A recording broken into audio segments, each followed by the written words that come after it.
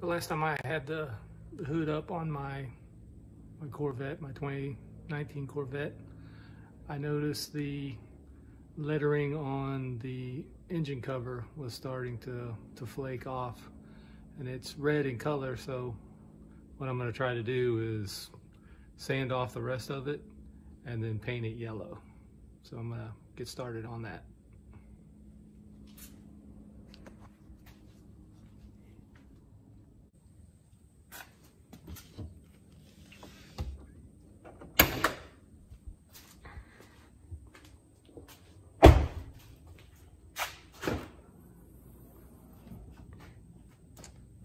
So this is what I was talking about. The uh, this red is starting to flake off.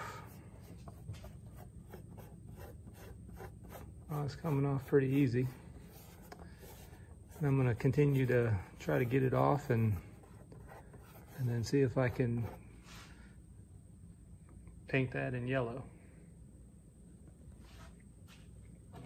And another another thing that I tried to do with the car was uh, when the car when I car arrived, I noticed it had white stitching in the seats, and I purchased several different types of paint pens and and fabric markers to change the color of the stitching in the seats. And one of the pens was a was a paint pen for for painting on tires and and other other abused surfaces.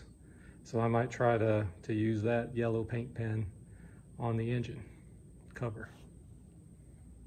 Let's see how it turns out. So I'm just popping off the engine covers.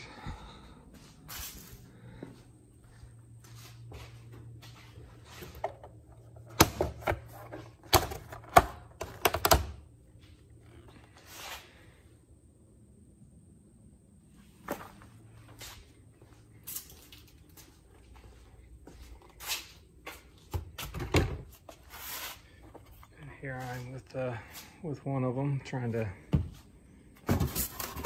flake off the rest of this material. So I'll just sand off the material offline or off off camera and then I'll uh, and then when I start to paint I'll show you the paint pen that I'm using and and then how it turns out. So here we are at the the workbench. I brought the, the covers over to the workbench and I'm gonna try to, to sand, start sanding with this 2000 grit paper to see how it, how it works out.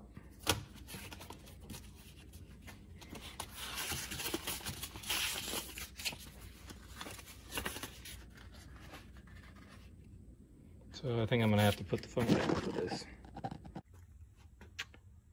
So one of them sanded off pretty easy.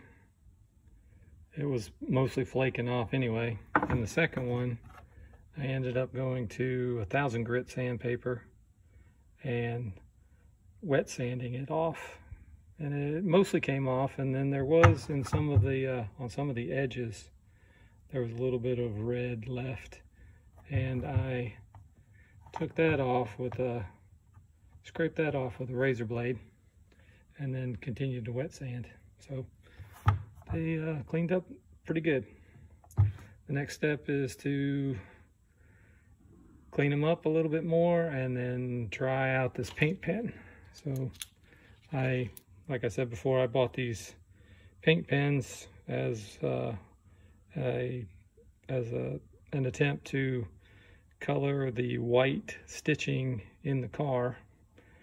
And these didn't work out at all. They just made a mess. So I moved on to another another marker and I'll do a video on uh, the stitching at another point.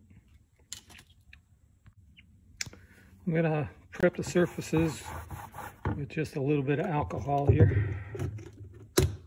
Just a teeny bit of alcohol. Don't think it needs much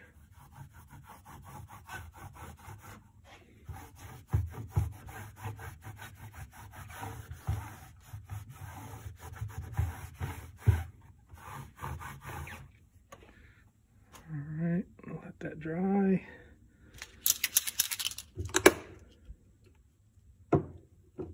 So I'm gonna start one of these, do a couple of letters maybe on camera, and then I'll probably do the rest of them off camera.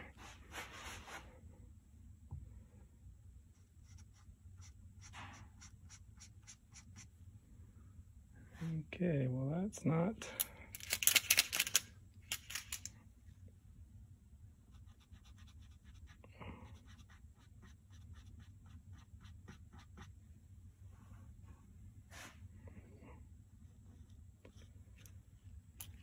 Pin's not working out at all. Oh, I forgot. You have to press down on these pins to get the ink to flow. Oop, well, that made a mess. that didn't work out. I have to clean that up. All right, we're gonna, I cleaned up after my, my first mess. I'm gonna try again here.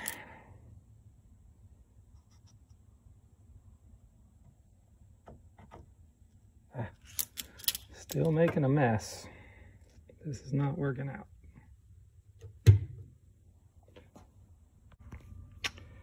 Well, I put one layer on. It is a paint, so it seems like it needs to be going. It needs to be put on in several layers. Of course, this is how it started. This is what it looks like on the first layer. I'll go in a little closer. So I'm going to do the other cover.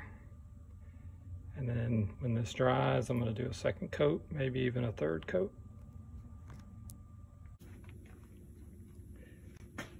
The second coat is definitely an improvement over the first. But it still needs at least one more coat, maybe two. Yesterday when I applied the second coat. The first coat was still a little tacky in a couple of places. So I let the the paint dry overnight before I apply the third coat.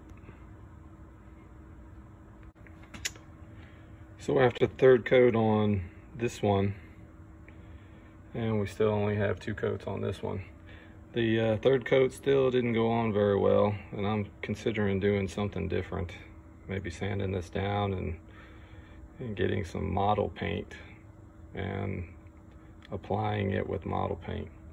If you if you see closely, it's just not covering the uh, the letters very well. It's leaving little little gaps. Even after th three coats, I'm a little disappointed in in the results. I didn't like how the paint covered the uh, the letters on the on the third coat. So I'm still seeing pretty uh, splotchy coating. So I'm gonna sand it down a little bit to smooth it out and then I'm gonna try out this uh, tester paint, just model paint. My only concern about it is it may not stand up well to the temperatures under the hood. So it may peel off too, but we're gonna give it a try. Before I start wet sanding this, uh, this paint from the paint pen off, or really I'm just gonna rough it up. I'm not gonna, not gonna sand it all off. I'm gonna sand it smooth because some of the, the bubbles and other problems with it. I went ahead and taped it off. On one of them, uh, when I was doing some wet sanding, I scuffed the, the plastic a little bit, so it'd be better to have it have it protected while I'm doing the wet sanding. And I'll probably even leave it on there when I when I paint it with the paintbrush. So on one of them, on this one, yeah, I got a couple of little specks on the uh, on the plastic too that I'll get off later. There's not much change after doing the wet sanding on the paint scuffed it up a little bit, smoothed it out a bit, but they that paint pen paint was pretty tough stuff. It, it took me, I spent about five minutes on, maybe five to 10 minutes on each one. And uh, scuffed it up a little bit, but it didn't take it down as much as I thought it was going to. So one coat of the Testors model paint. Did a pretty good job. And with the brush, it was a little, it was easier to apply evenly. So this is with the model paint. And then this one is, I haven't done yet. This is still with the, uh, I finished up the painting of the letters on the engine covers. Turned out okay. And as you can see, I uh, went outside of the lines in a couple of places and I cleaned that cleaned that up with just a paintbrush and some acetone along the edges and there were a couple of spots over here also. And they they cleaned up easily with just uh, some fingernail polish remover and uh, and another paintbrush. So let's go ahead and put these on the car